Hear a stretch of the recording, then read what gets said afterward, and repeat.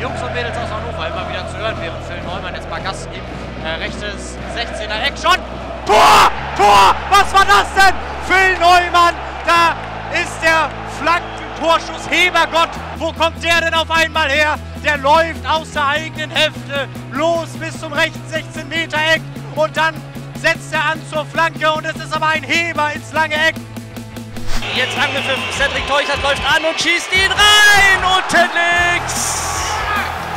ist die erneute Führung für Hannover 96. 87. Spielminute ist es am Ende geworden. Torschütze heißt mal wieder Cedric Teuchert.